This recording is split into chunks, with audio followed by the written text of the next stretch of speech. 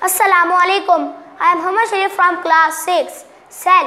Cell is a basic structure and functional unit of life. Cell is made up of small subunits. These subunits are called cell organelles. There are two types of cell, animal cell and plant cell. Cell membrane. It is present in both animal and plant cell. It controls the passage of materials in or out of the cell. It is also called the semi-permeable membrane. Cytoplasm. It is a jelly-like structure present in both animal cell and plant cell. All chemical reactions occur in cytoplasm. Nucleus. Nucleus it is the central controlling and information center of the cell.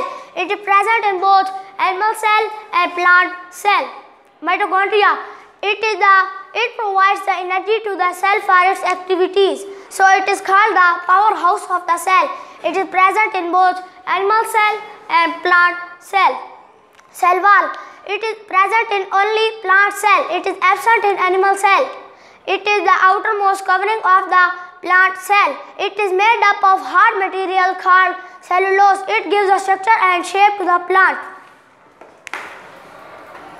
Chloroplast. It is a disc-like structure present in only plant cell. It is absent in animal cell. It contains a pigment of green color called chlorophyll. It helps in photosynthesis and gives green color to the plant. Unicellular organism. Those organisms which are made up of one cell are called unicellular organism. Multicellular are those organisms which are made up of many cells. For example, humans, plants, etc. Cell. Tissue. Group of cell performing the same function make the tissue. For example, muscle tissue, connective tissue. Many tissue per, uh, group of tissue make an organ. For example, hearts, lungs. Group of organ make an organ system. For example, circulatory system, nervous system. Group of organ system make an organism. For example, humans, plants, animals, etc. Thank you.